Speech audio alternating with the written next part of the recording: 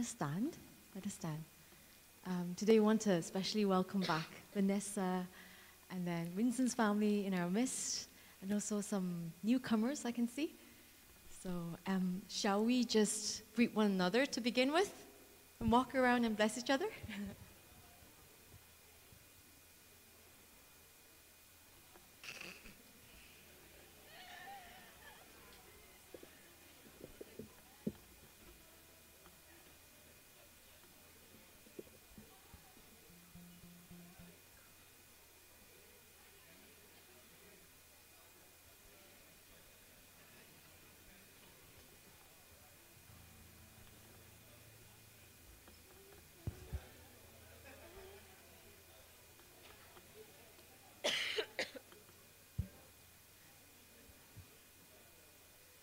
Okay.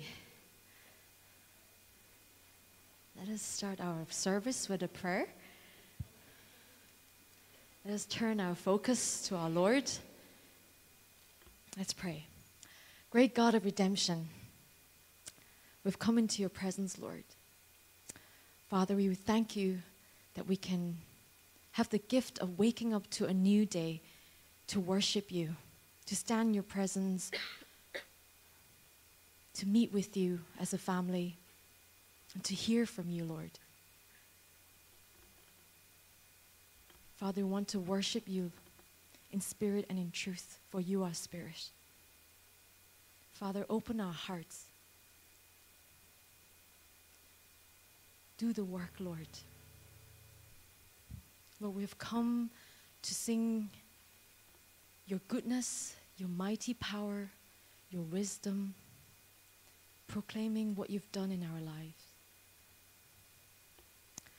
Father, we want to be amazed and continue to be amazed the gift of love that you've given us in Christ Jesus. Shine in our hearts, Lord, shine in our hearts as we worship. Pray this in Jesus' name. Amen.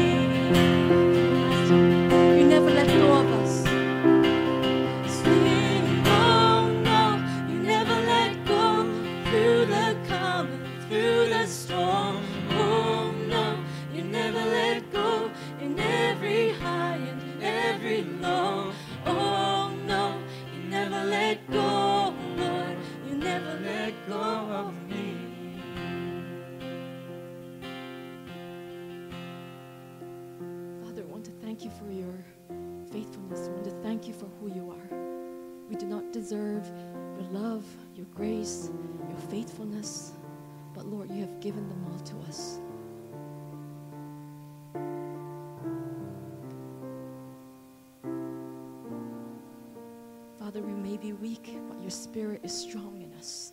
As we worship, Lord, we do not worship with our strength. As we go through our life on earth, we do not go through with our own strength. But Lord, that you are the only person who can satisfy our deepest need. We want to thank you and sing that, Christ, Lord, you are enough for us.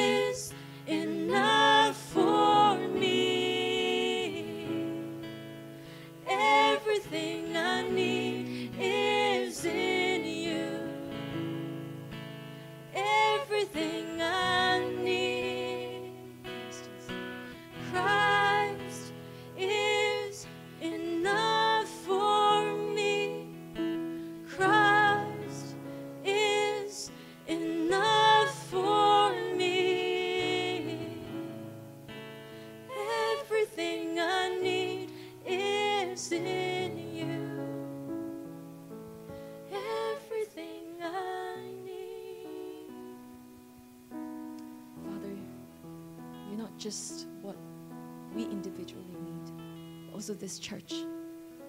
Be the center of this church, Lord. Be the center of all we do in this church. We thank you that you are the Lord of us, and Lord of this church. We thank you. In Jesus' name, Amen. Please be seated. We thank God for bringing us here. We thank God for a family that is in Christ. We thank God for a church that holds up His name, that speaks about the hope that's found in Jesus Christ, and that those who trust in Him will have the right to become children of God. And today, as we gather together, we are committed to Him. Today, when we are gathered together, first of all, we want to examine ourselves. First of all, to clear the, clear the page again. So let's pray together. Father, we thank you today that we gather here. Father, today we want to ask your Holy Spirit to examine our lives. Holy Spirit, show us where there are ways that displease you, whether it's in our speech, whether it's in our thought, whether it's in our attitude, whether it's in what we do. Lord, today we no longer want to hide those things from you. Today we want to confess it to you.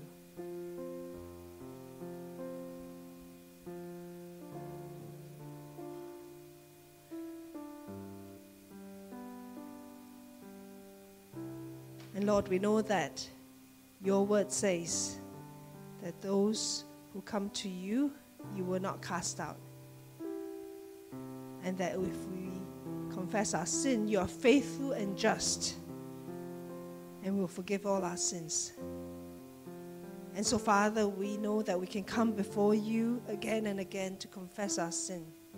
And that we know that your blood, Jesus Christ, will wash us whiter than snow. And while sin separates us from you, Father, we want to get rid of it so that we can come right before you.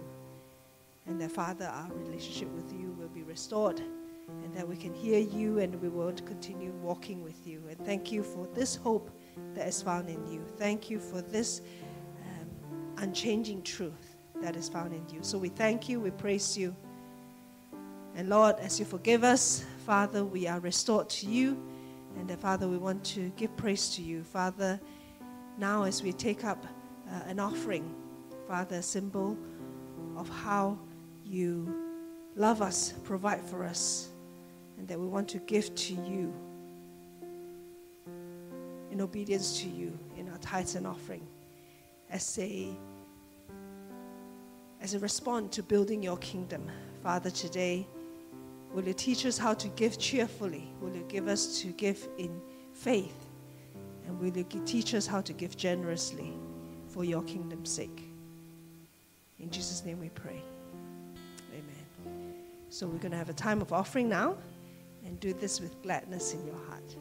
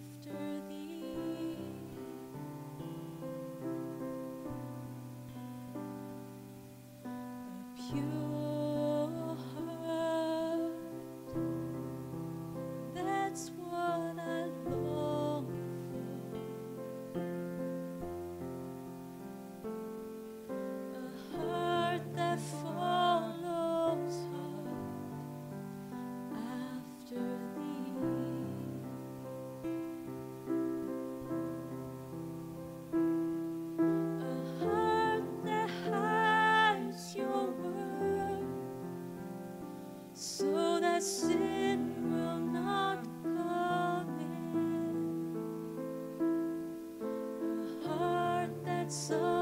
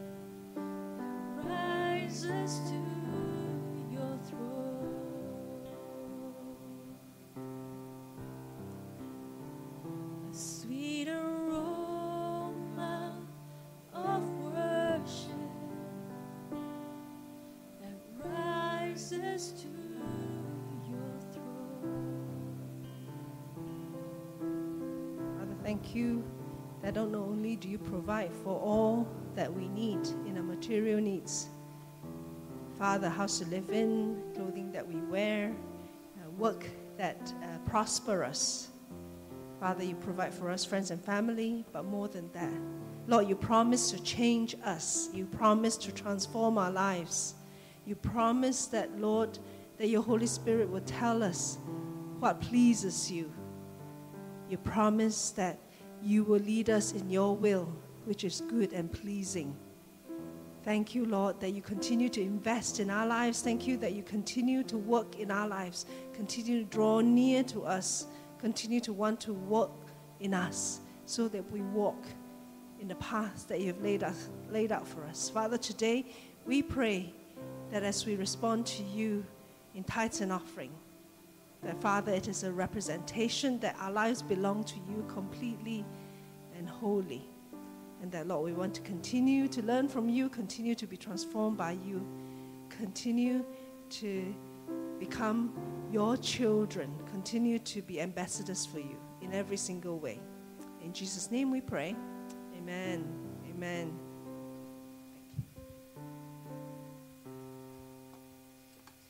Good morning. I'm so glad you're here. It's good to worship together as a family of God. And God is the one who is leading us step by step. And sometimes He surprises um, in, in many ways. And today, if you are here, we, what, do, what do I mean today you're here? If you are, I want you to come and enjoy uh, the word from God, but I also want you to come and have fellowship later on for tea and coffee. Uh, welcome back, Ken and Carmen. I hope you had a wonderful holiday. Next item. Um, the stable B is nearly complete. No, it's actually complete. It's fit for worship. But we want to just have different bits that is uh, nearly to be done. We're going to move on to the sports hall We want to continue the fundraising efforts, and then once it's completed, we can uh, take this uh, slide off. But we had a wonderful service uh, last week. I also want to let you know that because God is blessing us with so many people coming to church, and every one of us drive a car, and that um, there is some traffic congestion. But Pastor Chau has, is leading a team that will look after the traffic. And whenever any of the warden tells you to move, please listen to them because they have been given authority by Pastor Chau and further that authority by God. So you want to move, okay? So in order to know um, if you're double parking, what we want to do is collect all the car registration number and who, who is it and your mobile number so that we can tap you on the shoulder for you to move uh, discreetly. And so there will also be a sign. It won't apply so much for our service, but later service, that if the car park is full, there'll be a car park full sign outside. And then perhaps you can look for car park along the, along, not along Esker Road, but along the other side, uh, okay? And also to the um, uh, sports center, okay? So you're very welcome, and I'm going to pass the time over now to Pastor Chau for God's word to us.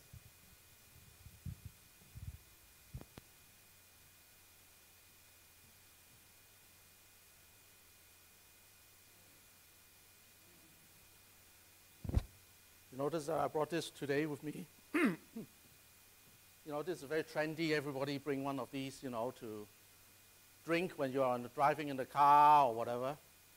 And you know, I'm, I, I'm not trying to advertise, but this is a very good one because uh, I've been looking for a good one for a long time. You know, you know, the purpose of these things is to, you know, keep your drink warm, right? But uh, I've gone through so many of them.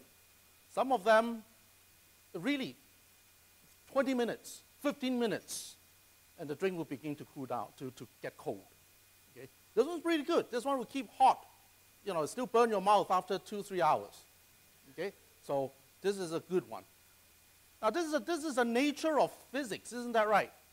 When you have a hot drink, it will cool down naturally. The most you can do is to find something good to keep it warm. Only to keep it warm. But no matter how good this is, naturally it will begin to go lukewarm, begin to grow cool. The only way to keep something really, really hot all the time is to keep boiling it. Right? So I mean, we, we, we, we all- know. Yesterday, I was trying to boil some noodles, okay, to, to, have, to have for dinner. And uh, I put the noodles in the pot, put the pot on the ring, and went and wait, you know, did something else to wait. And uh, 20 minutes later, came back, and the noodle was not boiled because I forgot to turn the gas on. Okay? You know that you have gas in the house. You know that you have natural gas or electric or whatever. But do you know you have it? You pay for it. But do you know how to turn it on? Do you remember to turn it on? You see, the message that I want to share with you this morning is about keeping your fire for God. It's about not being lukewarm. And that's the picture that I gave you just now. By ourselves, naturally, our fire will cool. The most we will try to do is to come to church, go to fellowship, right? get people to try to keep us hot, keep us warm. But no matter how good that keeper is, we will slowly, still slowly, gradually, you know, that may be four hours, but six hours later, eight hours later, it will be cool again. The only way to keep ourselves hot and on fire for God is to have the Holy Spirit. The Holy Spirit that lights up the fire in us. Now, the question is just like me trying to cook my noodle, we all, as Christians, have the Holy Spirit. We all have gas and fuel piped into our lives, just like natural gas into your house. But do we turn it on? Do we know how to turn it on? Because unless we allow the Holy Spirit to fire us up all the time and consistently, our spirit is going to get cold. And I want to share with you today a character from the Bible, and we will learn from him today how not to cool down, how lukewarmness in our heart will eventually become a heart that rebel against God. And then we'll look at somebody else in the Bible this morning, and we will look at how the Holy Spirit in his life kept him on fire and the result of him being on fire for God. So let's look at the first character. Now, this is a quiz for you. I want to see how many people know where to find the character, where to find in the Bible, the character Amaziah. M. Messiah. M. Messiah. Have you even heard of the person? No? Anyone? Ken doesn't count. Anyone? Ken knows. Ken knows everything about the Bible. So anyone apart from Ken, you know where to find Amaziah? You raise your hand and I'll buy you a spice bag. No one? Oh, no cheating, Mimi. No cheating. No cheating. Okay? I'll raise the price. Anyone? No, don't, don't check on your phone. I'll raise the price from a spice bag to a siu nga fan, roast duck rice. Still no? Okay, so the, the rice is for me, okay? Turn to me, turn with me to the book Second Chronicles, chapter 25. Amaziah, king of Judah.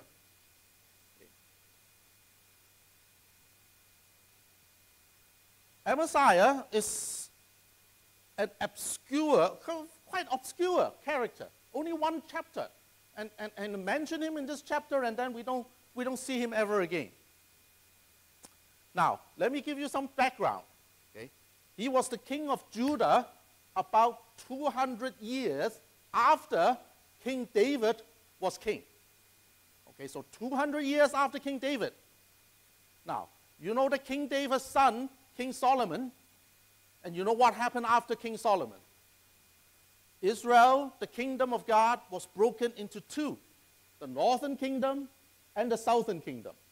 Right? Now, this is where the confusion begins for a lot of us. Because the northern kingdom, okay, the, the, let me just make sure I get it right. Okay, the kingdom is divided into north and south. Okay, and uh, the southern, let's start with the southern kingdom.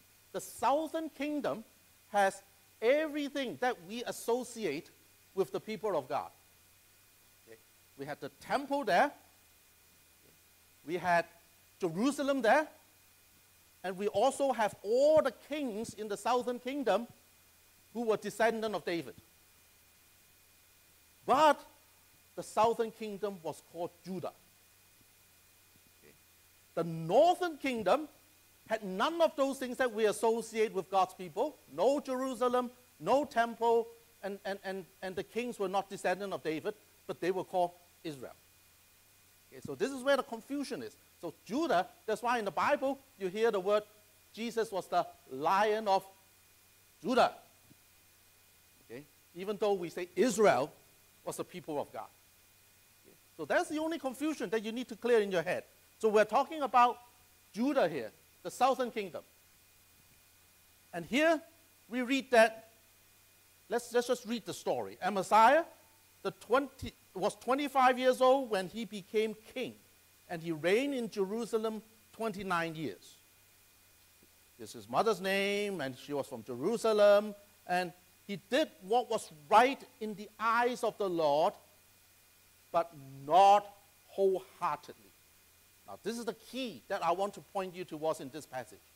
This is a king who tried to do what was right, but not wholeheartedly. And I believe that represents a lot of us here today, this morning. We're here, at least we're here. We try to do the right thing. We try to be good. We go to church. We try not to steal. We try not to lie. We try not to do bad things. We try to do what is right in the name of God, in, in the sight of God. But unfortunately, many of us, just like Amaziah, we do not do so wholeheartedly. And in verse 3, he says, After the kingdom was firm in his control, he executed the officials who had murdered his father, the king, yet he did not put their sons to death, but acted in accordance with what is written in the law, in the book of Moses, where the Lord commanded, Father shall not put to death for the children, nor children put to death for their father. Each is to die for their own sin. Now, this is, this is, this is the first step of being cold, first step of downfall. The first step being lukewarm, being not wholehearted. Okay? Now, he tried to do the right thing. You see here, he followed, he didn't follow tradition. If you look at history, he had every reason to murder all his opposition. Because his father, his grandfather, if you look at history, his father, his grandfather, his great grandfather were all assassinated by enemies. So when he became king, it was very logical for him to kill everybody, all the entire family of his, of his opposition. But he wanted to obey God's law. He went back to the book of Moses and he says that, no, Moses says, the law says, we shall not punish people on that, that, that have not sinned. The father sin, we punish the father. The children sin, we punish the children. So we don't kill the children for the sin of the father. So he at least tried to do, this is the first step. He at least tried to do the right thing, but his heart was lukewarm. So no matter where you are at the moment, that you are at the right position with God, if your heart is not wholehearted, you're in danger. You're pointing yourself in the wrong direction, a risky, risky direction. Because as we read, we begin to see what happens. Verse 5, he says, Amaziah called the people of Judah together and assigned them according to their families to commanders of thousands and commanders of hundreds for all Judah and Benjamin. He then mustered these 20 year olds or more and found that there was 300,000 men ready for military service, able to handle the spear and shield. Now look at verse 6. It said he also hired a 100,000 fighting men from Israel for a 100 talents of silver. So you see the picture. He became king. He wanted to do the right thing, but he wasn't wholehearted. And now he's at war. He's at war with enemies of God's people, the Edomites. And now, what do we read in verse 6? He recruited a 100,000 fighters from the northern kingdom, from the kingdom that split away from, from, from, from, from Judah. Verse 7, it says, A man of God came to him and said, O king, these troops from Israel must not march with you, for the Lord is not with Israel, nor with any of the people of Ephraim. Even if you go and fight courageously in battle, God will overthrow you before the enemy, for God has the power to help or to overthrow. You see the story here? Okay. The man of God came and warned the king. Says, Look, Israel, the northern kingdom, have departed from God's way. God not pleased with them. You recruited 100,000 people from them. You're not supposed to do that. You're not supposed to have an alliance with people that are opposing God. And, the and, and this man of God reminded King Amaziah, he says, God has the power to help or to overthrow. So the teaching there was that you try to do the right thing, you keep on doing the right thing. Because you do the right thing, God will make you successful. Recruiting from Israel, recruiting from the northern kingdom, the man of God says, it's the wrong thing to do. And if we look at the story again, verse 9, Amaziah still continued to try to do the right thing. He says, he asked the man of God, but ah, you see what's happening here, verse 9. He says, What about the hundred talents I paid for these Israeli troops, these Israelite troops? The man of God replied, The Lord can give you much more than that. So now we see the second step. And this is a very subtle step. This is the step of distraction. When your heart is not fully on God, when you are lukewarm, you are easily distracted. Your mind is not fully on God. Your mind gets distracted by other things. Here we see Amaziah. Amaziah, he wanted to do the right thing. He wasn't wholehearted. Now look what he's concerned with. He's concerned with what about the money I paid? Okay, okay, it's a lot of money. But it shows us that his mind is now on things of the world. He recruited, first of all, he made a mistake. He recruited people that he shouldn't have recruited. He had an alliance with people that opposed God, that, that God was not pleased. And now he's concerned with the money, the things of this world. And the man of God had to remind him look, why are you concerned about this? Why are you distracted? God can give you a lot more back. Do you not trust God? So, you're not wholehearted. The next step, because you're not wholehearted, you get distracted. You get distracted by things of this world. You get distracted by things that are not of God. Let's see what happened to Amaziah. Amaziah, in verse 10, still tried to do the right thing. Of course, he still tried to do the right thing, but he's on a slippery slide now. So Amaziah dismissed the troop who had come to him from Ephraim and sent them home. This is from the northern kingdom, or the mercenary, he sent them home. And they were furious with Judah and left for home in a great rage. Verse 11 Then Amaziah then marshaled his strength and led his army to the valley of Salt, where he killed 10,000 men of Seir. The army of Judah also captured 10,000 men alive, and he slaughtered them all. Verse 13 Meanwhile, the troops that Amaziah had sent back had not allowed to take place in the war, raided Judean towns from Samaria to Beth Horon, and they killed 3,000 people and carried off great quantity of plunder. Now, why was that? What's happening here? Why was it that God allowed these people that Amaziah had sent back, the enemies of God, to, to then go and have some sort of victory to plunder in revenge? Because you see in verse 14, you see that it's because when Amaziah returned from slaughtering the Edomites, he brought back the gods of the people of Seir. Not only did he bring them back, bringing them back, bringing the gods back was, was, was bad enough. He set them up as his own gods, bowed down to them, and burned sacrifice to them.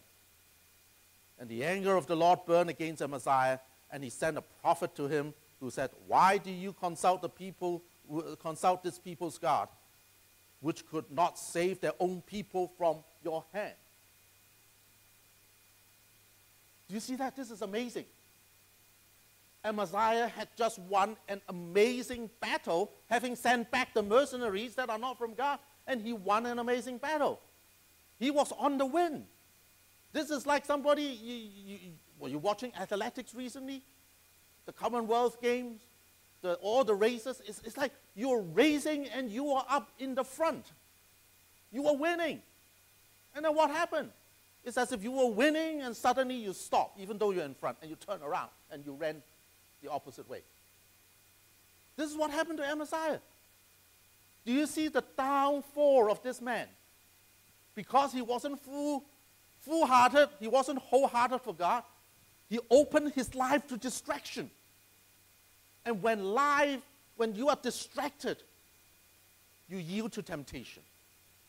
Because you're not wholehearted, you yield to temptation. Just like the tea in the pot that is not warm. The pot is not good. You're not wholehearted. You get colder and colder and colder. Now, you see this man who tried to do things right at the beginning, but not wholeheartedly. This is not as if he didn't try. He tried. but not wholeheartedly, got distracted by the things of this world, and eventually yielded to the temptation from the things around him. And now you see the complete downfall. When the prophet sent by the angry God to ask him, Why did you, and, and it makes sense, why did you consult with these gods who couldn't save the people you defeated? What stupidity is there? But you know, when you are moving away from God, you are blinded. You're blinded to things that don't make sense. You need God to wake you up. You need God to open your eyes. You need God to open your eyes and see how stupid the decision was. But did Amaziah wake up? Amaziah didn't wake up. Verse 16 While he was still speaking, the king said to him, This is while the prophet was still speaking. The king said to him, Have we appointed you an advisor to the king? Stop. Why be struck down? Do you see how this person, King Amaziah, has fallen from trying to do the right thing? And all because he didn't do so wholeheartedly.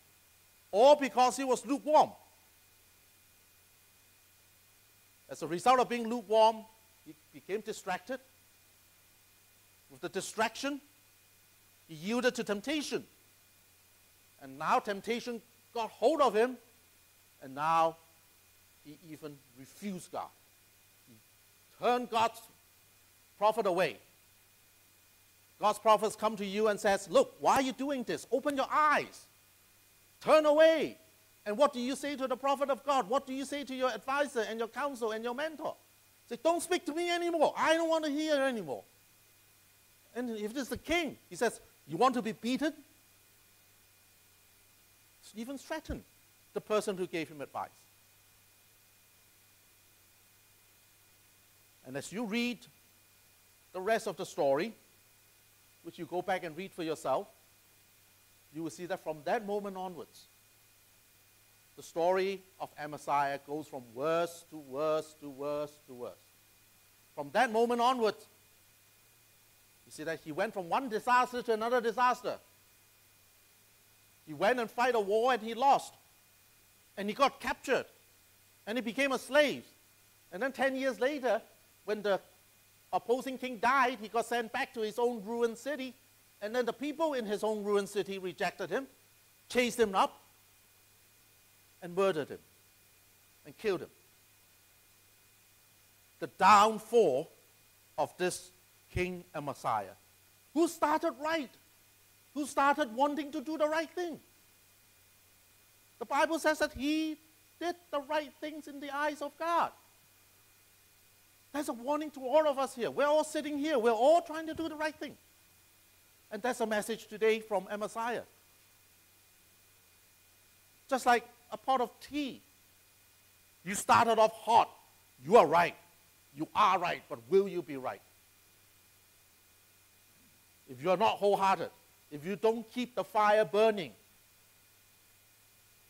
and you get distracted, and you yield to temptation, and you end up rejecting God a downward slope from hot to lukewarm. And if you don't do something about it, from lukewarm to become cool, from cool to become cold, from cold to become rejecting God. Let's contrast it, okay? I don't want to just deliver a sermon of bad illustrations. Let's look at an encouraged illustration. Let's turn to the New Testament and look at the book of Luke a person called Simeon. Sure, you have heard of this guy, this old man. Simeon was the person in the temple when Mary and Joseph took the baby Jesus for dedication, for infant dedication. And you read that in Luke chapter 2, verses 25 onwards. And say, Now there was a man in Jerusalem called Simeon who was righteous and devout. And he was waiting for the consolation of Israel, and the Holy Spirit was upon him. That was a picture I gave you. The difference between Amaziah and Simeon is that Simeon had the Holy Spirit on the boil. The fire was burning. This pot of water is never going to get cold because it's on the top, being burned, being boiled. And the Holy Spirit was upon him. Verse 26 And it had been revealed to him by the Holy Spirit. The Holy Spirit was telling him things, relating to him, that he would not die before he see the Lord Christ. And then verse 27 moved by the Spirit. Again, you see, his life was controlled and moved by the Holy Spirit. He went into the temple court at the same time, at the exact time that Jesus appeared as an infant, taken there by his parents. He was sharp. The Spirit was there guiding him, doing all these things. First, the Spirit told him, Look, you're not going to die, you're going to see the glory of God. But he has to be sharp. He has to keep listening to the Spirit right at this right time. For that very morning, he woke up and the Spirit said to him, Today is the day, go to the temple. And he went to the temple. And there, he saw the baby, Jesus. He was at the temple. He went into the temple court when the parents brought in the child Jesus to do for him what the custom of the law requires. Simeon took him in his arm and praised God and saying, Sovereign Lord, as you have promised, you now dismiss your servant in peace. For my eyes have seen your salvation, which you have prepared in the sight of all people, a light for revelation to the Gentiles and for the glory to your people Israel. See, Simeon and Amaziah both started right. The Bible says King Amaziah did right in the eyes of God. Here we said Simeon was a righteous and devout person. But this is where the two persons' experience became different. One, King Amaziah, not wholehearted. Two, Simeon, he was filled with the Holy Spirit, his life led and controlled, obeying the Holy Spirit. Simeon was sincere, earnest. He's a spiritual man who loved the Lord with all his heart, with all his soul, with all his strength, and with all his mind. That's what the Bible says. Because for his whole life, he's 80 years old. His whole life, he waited. He longed for God's glory to be shown. And if you look at the description there, in the whole passage, there, just short few verses, the number of times the Holy Spirit was mentioned. That the Holy Spirit was upon him, verse 26. That it was revealed by the Holy Spirit, verse 27, uh, 26. And verse 27, so 25, 26, 27, every verse talks about the Holy Spirit, the impact of the Holy Spirit, the fire on the boil, keeping him going. People who are filled with the Holy Spirit are the ones that knows what to do because God is there. It's God's Spirit. Who is able because that is God's power. And encouraged because he has God's presence. So he was kept on fire. And you see the consequence of that. When he saw the glory of God, he says, God, I have seen your glory. Now you can dismiss me in peace. What does that mean? I can now die. You can now take my life. Do we have that attitude? Whether we're young or old. That my only, my only purpose in life is to want to see the glory of God. Is to want to see God's glory. I want to see God's glory here. I want to see God's glory in people's lives. I want to see God's glory in this city. There's nothing else in my life that is worth living for. This is what Simeon is saying.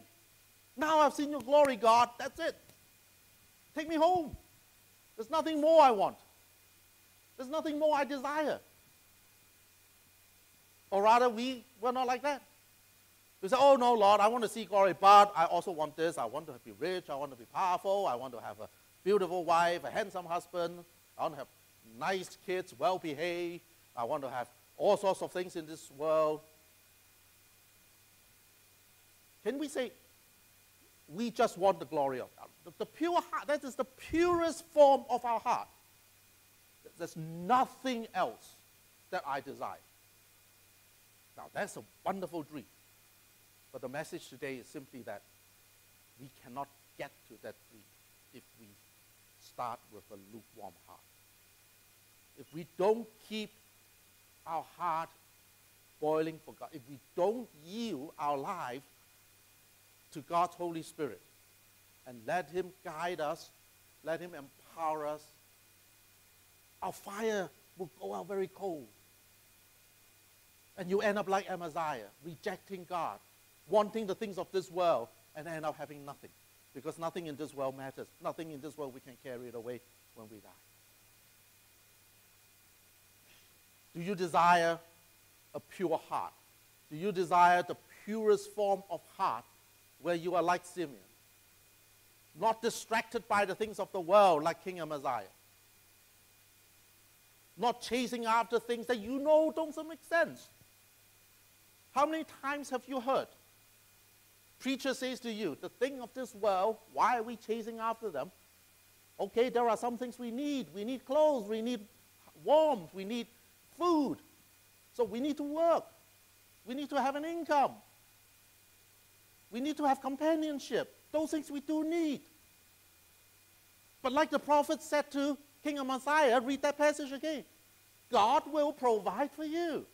God will provide for you much more than you need. King Amaziah is worried about, well, well, I paid all this money for these mercenaries, what do I do? The man of God says, God will provide. And we know it makes sense. Just like the prophet said to King Amaziah. Come on, wake up. Why are you worshiping the gods of the people that can't even you can't even win over you? You defeated them. You defeated them, and yet you're worshiping their God. How stupid can you be? Sometimes we know things make sense, but we refuse to listen to it. We, we fight against it, and we have this bully tactic. When people say things that make sense to us, our bully tactic is stop. I don't want to listen anymore. Go away. You wanted me to beat you up? That's what King Amaziah said. That is all because we started with a heart that is not fully following God, a lukewarm heart. Let us be like Simeon, not like King Amaziah. Let us have this pure heart, this heart that longs for God, this heart that only has God as our desire. This heart that says, God, once I have seen your glory, you can take me home. There's nothing more in this world that, that I desire. And then people say that to me. I share with you my testimony. Somebody challenged me one time, says, You're very selfish. They say, All you want to see is God's glory, and then when you see God's glory, you want to leave. What about the people you love? You're going to leave them all behind. I tell them, No. I'm quite happy because my Simo, my wife, is a Christian. I'll see her up there. My two daughters are Christians. I'll see them up there. The people that I love, they're all Christians. That's why it's important to convert, to make sure that all the people you love become Christians. Right? So that they can all go with you and not leave behind on this earth. Because really, we all go up there and we leave this place behind. That's a pure heart. You have that pure heart. Let's sing. Let's pray. Let us not be like Amaziah. Let's remember that. Let us not be like Amaziah. Let us not try to do the right thing, but half heartedly. Today, we need to make a decision to be full hearted, wholehearted. You want to be wholehearted, you make a decision now. You need to be wholehearted. Make that decision now. Because if you don't make, this, make that decision, you're going to be like my pot of tea. How long can you stay hot? Huh? How long can you stay hot?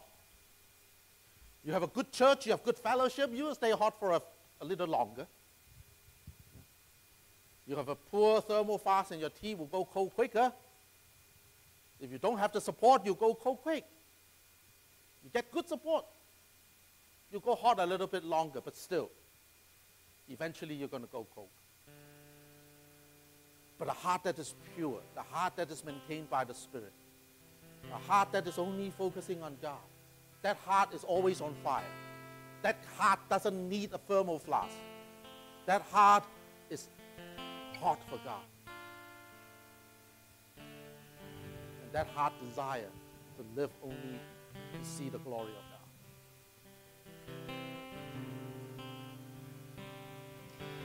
pure heart. What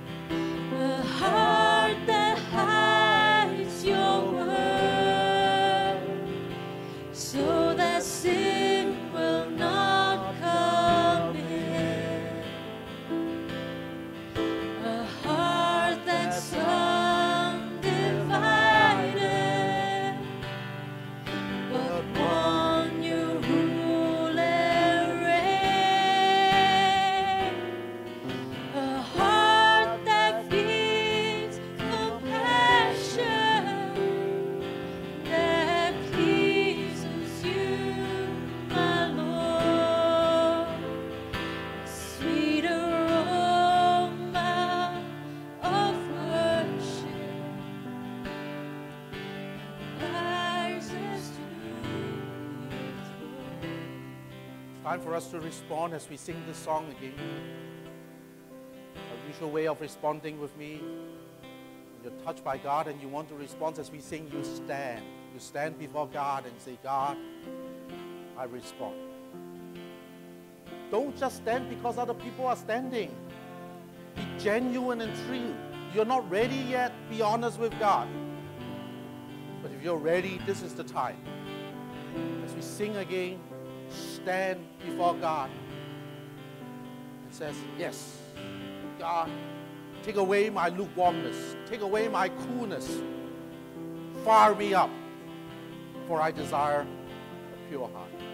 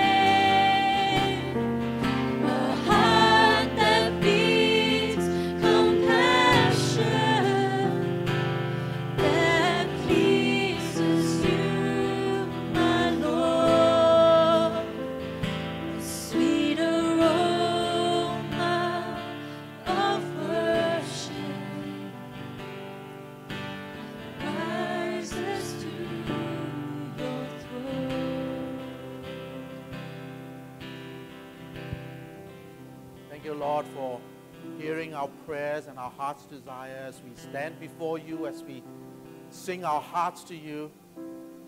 Come and renew us. Ignite the spirit that is in each one of our lives.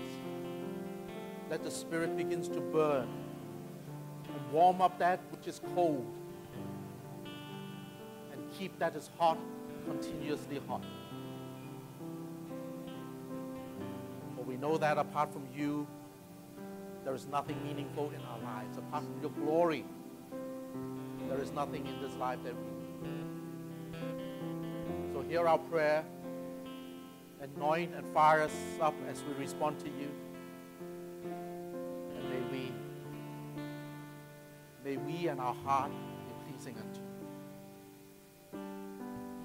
The rest of those of you who are still sitting, please stand also now.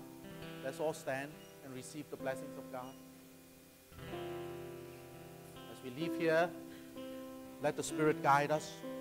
Let the Spirit empower us. And let the Spirit bless us. The grace of our Lord Jesus Christ and the love of our Father God and the fellowship indeed of the Holy Spirit will be with each one of us this day and always. Go with a pure heart in the love of God. Amen.